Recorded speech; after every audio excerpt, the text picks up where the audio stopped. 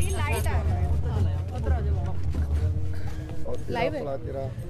कल दिल्ली में जो घटना हुई एक किसान की मौत हो गई कई पुलिसकर्मी घायल हो गए। अब उसके बाद जो ये किसान आंदोलन है ये किस दिशा में जाएगा?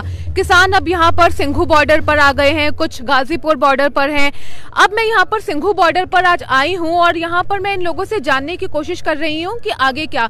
तो सर आप बताइए कि अब आगे आप लोग क्या करेंगे? कब तक यहाँ पर रुकने का इरादा है? मैम जब तक पहले तो ये सवाल की जब तक तीनों कानून रद्द नहीं होते तब तक हम बैठे रहेंगे और जैसे हमारी जथेबंदी आगे लीड करेंगे हम वैसे ही करेंगे। शांतिपूर्वक हम प्रोटेस्ट करेंगे कोई अग्रेसिव नहीं होगा कोई कुछ नहीं होगा। अच्छा इन्होंने जैसे कि कहा हाँ? इन्होंने जैसे कि कहा कि शांतिपूर्ण प्रदर्शन होगा। अगर कल की बात करें तो कल काफ़ी वॉयलेंस हो गया एक किसान की भी मौत हो गई कई पुलिसकर्मी भी घायल हुए हो गए। लाल किले पर जो घटना हुई उसकी भी काफ़ी निंदा की गई है। उसके बारे में आप लोग क्या कहेंगे? जो कल हिंसा हुई है आपने जैसे बताया कि 50 पुलिसकर्मी घायल हुए। पचास से ऊपर। 50 से ऊपर। हाँ। तो क्या किसी मीडिया ने या किसी भी मीडिया को लीड करने वाले चैनल ने या इंटरनेशनल चैनल ने या यूट्यूब पे चैनल है उन्होंने किसी ने भी ये बताया कि उन 50 से ऊपर जो पुलिसकर्मी घायल हुए हैं उनके अलावा किसान कितने घायल हुए हैं? ये बताया किसी ने? नहीं बताया। क्या ये बताया कि गुरु के घोड़े पे उन्होंने गोली मार चलाई? एक से हमारा किसान भाई शहीद हो गया।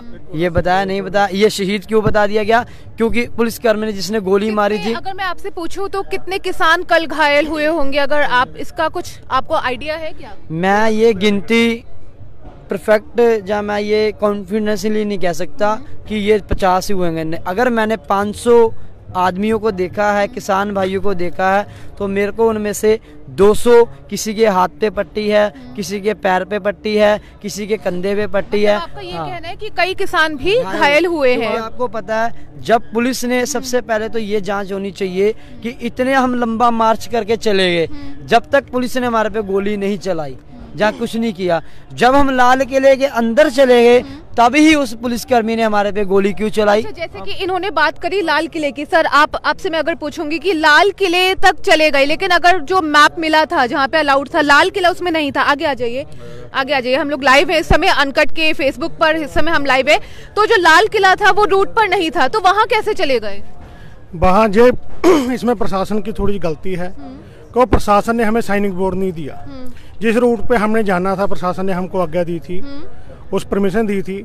उस रूट पे उसने साइनिंग बोर्ड नहीं लगाया भी आपने इतने को जाना है। अच्छा। आपको भी पता है वो जहाँ पे जाई गया जाई गया किसान वो आगे गया लाल किला आ गया इसमें तब ये हुआ है प्रशासन अगर हमको साइनिंग बोर्ड लगा के देता ना हम उसी तरफ़ जाते। आपका कहने का मतलब हाँ। हमारे को ऐसा लग रहा जो शरारती आंसर पड़े हुए थे जो आंदोलन में बोला जा बोला जा रहा था पाँच हज़ार से ज़्यादा शरारती आंसर बड़े हैं। हाँ। उन्होंने जाके पहले ही बैठ गए वहाँ लाल किले में और जो इनमें से जथा तोड़ा तो एक ट्रैक्टर के पीछे जैसे चले जा सारे वो वैसे वहाँ लाल किले में एंटर अच्छा तो आपका ये कहना है कि कहीं ना कहीं इसमें जो अरेंजमेंट था मैनेजमेंट था उसकी गलती हुई। आप कुछ कहना चाह रहे हैं आप बताइए। हाँ जी बात यह है कि वो जब हम वो देखा ना हम तो यहाँ पर जैसे जा रहे हैं झंडा पकड़ करके क्योंकि हमारा देश है हमारे फंडामेंटल राइट्स है हमारा फ़र्ज़ हमारा भी हक बनता है कि हम आज़ादी में जाकर शामिल हुए आज़ादी जो चल रहा था उसमें जाकर के समारोह में शामिल होना था। तो तिरंगा झंडा हमारे हाथ में था केसरी झंडा हमारे हाथ में था हमारा रवायती झंडा जो होता है खालिस्तान का नहीं झंडा उसको बोला जा सकता। अच्छा हाँ कई लोग सोशल मीडिया पर ऐसा बोल रहे हैं कि वो जो झंडा था वो खालिस्तान का झंडा था कौन सा झंडा था आपके अनुसार? क्या था वो? केसरी निशान साहब था उस पर कोई खालिस्तान नहीं लिखा हुआ कोई बताए हमारे उस पर खालिस्तान लिखा हुआ हो अच्छा। कोई खालिस्तान नहीं लिखा हुआ था आज सभी झंडे लिखे हुए हैं। हाँ। क्या ये खालिस्तानी है सभी? तुम्हें दसते हैं। ये सिर्फ़ रवायती झंडे हैं हमारे जो झंडा है। सीरियस तो जब पहे दे अल्लाह पूर्ण करा ग्रंथ तत्काला मन बांछत फल पावे सोई दुख न तिसे व्याप्त कोई। वो झंडा हमें कलगीधर पातशाह ने बख्शा हुआ है। ना कि खालिस्तान ऑल वर्ल्ड दी ये झंडा चल रहा है। अच्छा जो ये कल घटना हुई है लाल किले पर उसके बारे में हाँ झंडे के बारे में बोलिए बिल्कुल। चीन पे चीन के बॉर्डर पे फौज ने जो सिख रेजिमेंट है ना उसने यही झंडा जो हमारे निशान साहब पे है ना निशान साहब वाला वो चढ़ा है उसको तो खालिस्तानी बोल नहीं रहे जे। उसका ये जूझ कर रहे हैं फौज अच्छा, को जूझ कर रहे हैं। अभी भी बोले अभी भी बोल देगा ना अभी वो खालिस्तानी है। उनको भी ये खालिस्तानी का दर्जा दे। तब हम मानेंगे भी हाँ वो अच्छा खालिस्तानी झंडा अगर मैं आपसे पूछूँ कि कल जो लाल किला पर घटना हुई आप उसे क्या मानते हैं? क्या वो जायज़ था सही था गलत था? जो घटना हुई है ना वो सरकार की तरफ़ से जो भी किया गया है सरकार की तरफ़ से किया गया है। हम अभी भी कह रहे हैं आगे भी कहेंगे। जब हमसे कोई पूछेगा? सरकार की सोची समझी साजिश सी अच्छा, जो हुआ है बताइए कौन मुझे बताएगा ये चीज़ की जो आंदोलन था उसमें कई सारे लोग आ गए कौन किसान है कौन क्या है ये आप लोग कैसे इस मॉनिटर करते हैं कैसे पता रख, रखते हैं कि इतना बड़ा आंदोलन है उसमें इतनी भीड़ आ रही है कौन है कौन कौन लोग आ रहे हैं इस पे? इसमें तो ऐसा होता है एस्टिमेट तो लगा नहीं सकते। तो जैसे हमारी जथेबंदी बोलती हैं भाई खालसा जी बोलते हैं अभी पीसफुली प्रोटेस्ट करना है। तो हम सभी किसान भाई पीसफुली होते हैं। तो जो उनमें अलग होते हैं हाँ। तो वो आपको हमको पता लग जाता है वो ऐसी हरकतें करते हैं भी इधर को चलो ऐसे कर देंगे वैसे कर देंगे तो उससे हम अंदाज़ा लगा लेते हैं क्योंकि जग जो भी कल घटना हुई थी हाँ। उसमें पाँच छः हज़ार का जथेबंदी अभी उसकी जाँच चल रही है भी शरारती अंसर थे अच्छा। तो वो ट्रैक्टर लेकर भी आए थे हाँ। उन्होंने ट्रैक्टर बैरिकेड भी आ गए उन्होंने करे क्योंकि इतने बड़े प्रोटेस्ट आंदोलन को लीड करना बहुत मुश्किल बात है क्योंकि वो पीसफुली हम कर रहे थे। तो उस ट्रैक्टर भी उनके शरारती अंसर थे। तो आगे वो वो थे। तो एक ट्रैक्टर जब गया तो हमारे लोग तो उनके पीछे हो हो गए क्योंकि पता अच्छा पता नहीं था। कई सारे क्योंकि पुलिस कर्मी भी घायल हुए हैं उसके बारे में क्या उसके बारे में ऐसा है कि उसमें भी शरारती अंसर थे। हमारे किसी भी किसान भाई के हाथ में ना कोई डंडा था ना कोई लाठी थी ना कोई कोई हथियार था और तो सिर्फ़ वो ट्रैक्टर पर थे। अच्छा। वो झंडे थे और झंडे में इतनी पावर नहीं है कि पुलिस वाले को घायल कर दे। तो जो उन्होंने आप तो बोल रहे हो भी पुलिस वाले हुए हैं तो हमारे किसान भाई हम यहाँ पे दस बंदे खड़े हैं। इनमें से आप देख लो पाँच छः बंदे तो आपको यहीं मिल जाएँगे जिनको चोटें लगी हैं। चोटें लगी हैं। हाँ, तो हमारा एस्टिमेट नहीं है अभी कितने लोगों को चोट लगी है। अच्छा, एक भाई हमारा शहीद हो गया दो तीन लड़कों के इधर गोली लगी है पट में गोली लगी है किसी का हाथ टूटा है किसी का सिर फटा है तो वो मीडिया नहीं दिखा रहा। मीडिया सिर्फ़ दिखा रहा है भी कि पुलिस वाले को ऐसा हो गया। अच्छा आप मुझे एक बात बताइए। अब सवाल ये आ रहा है कि कई किसान जो लीडर हैं, इधर आ जाइए। लाइट उधर की तरफ़ है सो डैट अभी अंधेरा हो गया है लाइव करते करते यहाँ पर। ये खबर आ रही है कि कई किसान लीडर्स के खिलाफ एफआईआर दर्ज हो गई है। कईयों ने अपने आप को आंदोलन से अलग कर दिया है। तो अब आगे क्या होगा? कैसे आप लोग मैनेज करेंगे? लीडरशिप की अगर मैं बात करूँ तो अब कौन लीड इसे लीड करेगा? मैम लीड की बात है, जैसे आपने कहा कि किसान, जैसे बंदियों के जो हमें लीड कर रहे हैं उन पे पर्चे हो गए, है ना? एफ़ आई आर हो गई, दस पे हो गई, बीस पे हो गई, बाईस पे हो गई, पीछे हैं। अगर उन पे भी कर देंगे वो तो उसके बाद सिख की जो डेफिनेशन है, वो एक लीडर है। सिख एक, खुद एक लीडर है। एक फौज, एक सिख, एक गुरु का प्यारा जहाँ खड़ा है, उसमें इतनी क्षमता है कि वो पचासों को लीड कर सकता है। तो इसलिए आप ये नहीं कह सकते कि हम दिशा से भटक जाएँगे। नहीं भटक सकते। क्यों? क्योंकि अगर हमारे आगुओं पे पर्चे हो गए, हमारे किसान भाइयों पे पर्चे हो गए तो हमारे गुरु ग्रंथ साहब महाराज तो हैं। हम गुरु ग्रंथ साहब महाराज जी के आगे प्रार्थना करेंगे। उनके आगे अरदास करेंगे। जो मैंने आपको पहले भी जवाब दिया भी जो उनका हुक्म होएगा, फिर हम उस नीति से चलेंगे। क्योंकि गुरु गोविंद सिंह महाराज जी से बढ़कर कोई नीतिवान नहीं हुआ।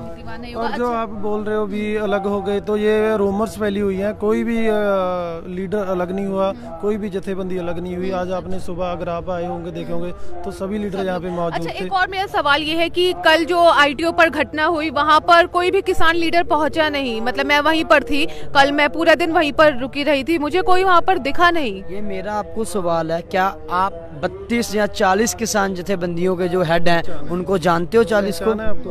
पहचान है 40 की? है? नहीं है ना? तो क्या पता उनमें से कोई लीडर आपके और रहे भी पाँच घंटे तक नहीं आया? तो ये भी हो सकता है ना उस घटना के तुरंत बाद उसने आके उसी को मलम पट्टी उसने करवाई हो? क्योंकि जब आप किसी का फेस नहीं जानते जब आप किसी लीडर को पर्सनली नहीं जानते जहाँ जहाँ आपने उनका इंटरव्यू नहीं लिया जहाँ आपके उनकी आइडेंटिटी नहीं जानते तो आप ये नहीं कह सकते कि मैं पाँच घंटे तक वहाँ लाइव चला रही था चैनल कि वहाँ कोई लीडर नहीं अच्छा, पहुँचा। आपके अनुसार वो वहाँ पर पहुँचे। होंगे। आपके अनुसार ये है कि वहाँ पर पहुँचे थे। अच्छा आप बताइए। एक जो हमारे जहाँ से जुलूस तुरा था वो सब थोड़ा तेज बोलिए। वो सा, वो सारे अपने लाइव भी देख रहे थे। अच्छा। भी क्या हो रहा? जो हमारे को खबर मिली वहाँ हिंसा हो गई है। और और हिंसा में जब जथेबंदियों को पता लगा वहाँ हिंसा हो चुकी है।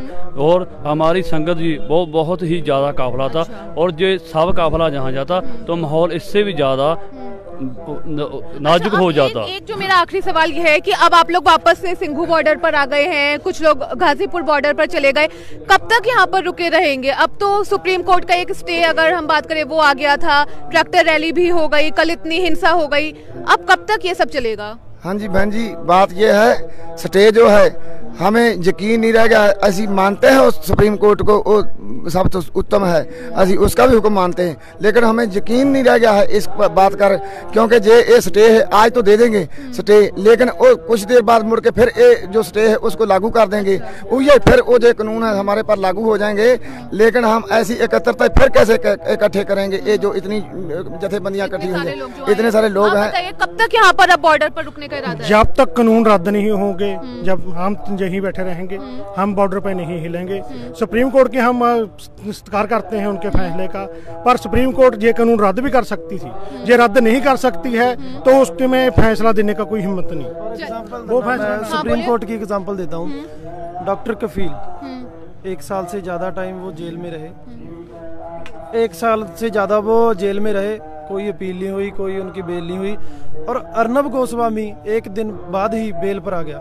तो इसमें सुप्रीम कोर्ट की सुप्रीम कोर्ट में सरकार अगर की सबसे बड़ा कोर्ट का मतलब नहीं अगर मैं वैसे नहीं अगर मैं अगर मैं एक एक शॉर्ट में अगर आपसे ये चीज़ जानना चाहूँ कि अगर एक साल का वक्त लग गया दो साल का लग गया ऐसे ठंड में ऐसे ही मौसम में आप लोग बॉर्डर पर रुके रहेंगे? हम उनके वारिस हैं जिनके बेटे शहीद हुए और वो परिवार के साथ सरसा नदी से पार होकर तीन बजे जब कीर्तन का टाइम था तो उन्होंने कीर्तन किया। तो मेरा कहने का महत्व ये है कि हम गुरु गोबिंद सिंह महाराज जी के वारस हैं। हमने अरदास अपने पिता के आगे की है। तो बेटा अपने पिता को कोई वचन दे तो अगर वो वचन ना निभाए तो वो बेटा कहने के लायक नहीं है। इसी प्रकार हमने अपनी धरती माँ को जिससे हम खा रहे हैं जिससे हम पल रहे हैं जिससे हर एक वर्ग चल रहा है जिसका हर एक वर्ग से का पेट भर रहा है। अच्छा एक जो एक जो मैं एक और जो सवाल मेरे दिमाग में ऐसे आ रहा है अभी भी कि अगर मैं आपसे एक शब्द में पूछूँ कि कल जो लाल किले पर घटना हुई है आप लोग अगर किसानों की बात करें जो यहाँ सिंघू बॉर्डर पर है आप लोग उस घटना की निंदा करते हैं क्या करते हैं कि जो हुआ है पूरा वहाँ पर? हम उस घटना की निंदा नहीं कर सकते। क्यों? क्योंकि हमारे किसान भाइयों ने किसी पुलिस वाले को नहीं मारा।